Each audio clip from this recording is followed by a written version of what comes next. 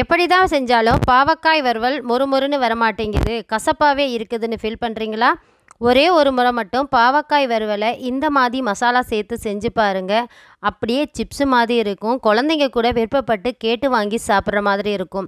Welcome to சல்காஸ் kitchen வாங்க இப்போ எப்படி செய்கிறதுன்னு பார்க்கலாம்.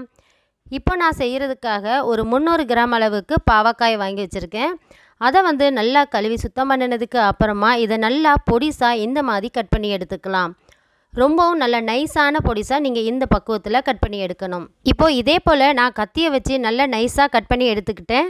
ரொம்ப பெருசாக இருந்துச்சு அப்படின்னா கசப்பு தன்மை வர்றதுக்கு வாய்ப்பு இருக்குது முடிஞ்ச வரைக்கும் நல்லா ஸ்லைஸாக இந்த மாதிரி கட் பண்ணி எடுத்துக்கோங்க. இதே போல் முத்தின பாவக்காயாக இருந்துச்சு அப்படின்னா அதில் இருக்கக்கூடிய விதைகளை எடுத்துக்கோங்க.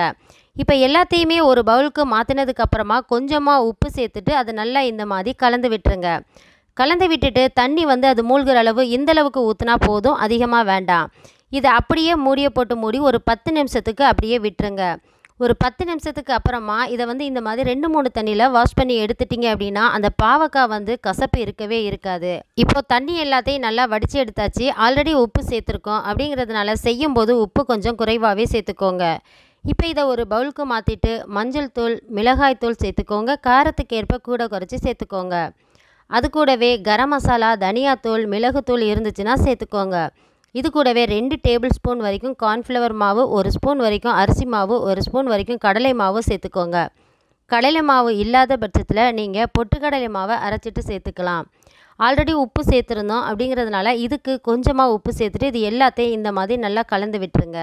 ஒருவேளை தண்ணி பத்தலை அப்படின்னா ஒரு கையளவு கொஞ்சமாக ஒரு ரெண்டு டேபிள் ஸ்பூன் மட்டும் தண்ணியை சேர்த்து இதை அப்படியே நல்லா கலந்து விட்டுருங்க. கலந்து விட்டுட்டு இது இந்த அளவுக்கு கலந்ததுக்கப்புறம் வைக்க வேண்டிய அவசியம் இல்லை. உடனே நம்ம பொறிக்க ஆரம்பிச்சிடலாம். இந்த மாதிரி நம்ம கடலை மாவெல்லாம் சேர்த்து பொரிக்கும் போது அது நல்லா கிறிஸ்பியாக நல்லா சாப்பிட்றதுக்கு மொறு மொறுப்பாக இருக்கும். ஆயிலை நல்லா ஹீட் பண்ணிக்கோங்க. மிதமான ஹீட்டில் இருக்கட்டும் ரொம்பவும் வேணாம் ஹீட்டு மசாலாலாம் சேர்த்துட்டு ரொம்ப நேரம் ஊற வைக்க வேண்டிய அவசியம் இல்லை. இப்போ நம்ம இது எல்லாத்தையுமே தனித்தனியாக ஒவ்வொன்றா பிரித்து பிரித்து சேர்த்துக்கலாம். அதில் நம்ம மாவு எல்லாம் சேர்த்துருக்கிறதுனால ஒன்றோட ஒன்று ஒட்டி இருக்கும். அதனால இந்த மாதிரி பிரித்து சேர்த்துக்கோங்க. இது எல்லாத்தையும் சேர்த்துட்டு அடுப்பை நல்லா சிம்மில் வச்சுட்டு இதை வந்து நல்லா குக் பண்ணி எடுத்துக்கோங்க. இந்த மாதிரி சலசலப்பெல்லாம் நல்லா அடங்கினதுக்கப்புறமா இது எல்லா ஆயிலையுமே நல்லா வடிச்சிட்டு எடுத்துக்கோங்க. முடிஞ்ச வரைக்கும் நம்ம இதை பிரித்து பிரித்து போடுறதுனால அது ஒன்றோட ஒன்று ஒட்டாமல் மொறுமொறுப்பாக நமக்கு கிடைக்கும்.